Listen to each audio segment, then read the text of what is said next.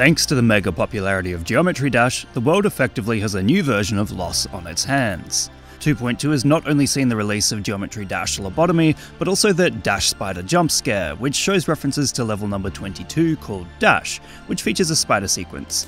For those unaware, a spider sequence is one wherein the player instantly teleports to the nearest solid surface. Geometry Dash is known for testing its players to the limit, so to be cruising along and then having to completely switch up a game style can be a jarring experience. But this game isn't known for being easy.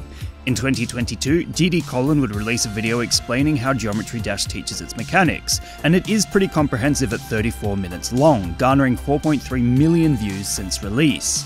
In this video, GD Colon introduces a sneak peek at the now released 2.2 update, taking a look at the aforementioned level 22 and expresses their frustration at how difficult the new spider part is. You have less than half a second to even react to this. It's such a huge new feature, why is it introduced so casually like it's always been there?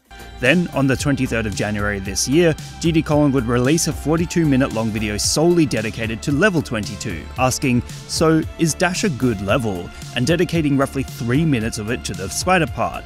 Clearly, this has made a big impression on the community, as GD Colon's argument that undertaking the spider part in roughly a second is quite difficult seems to have struck a chord with the rest of the gaming world, as one can see it referenced everywhere. Whilst GD Colon appears to have created the first meme to reference the level spider part template with the classic diamond mining guy, the rest of the internet began taking part, after the players of Geometry Dash started throwing out edits mirroring the spider part into their own fan-made levels.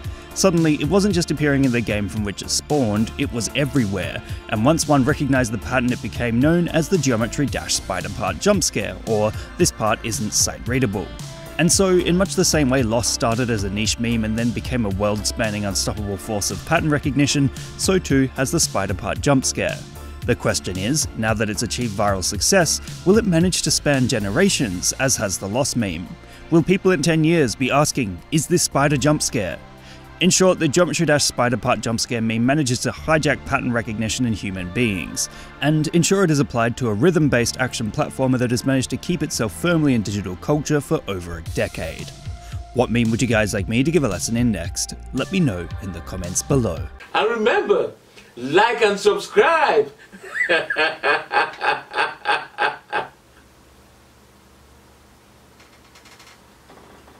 or else.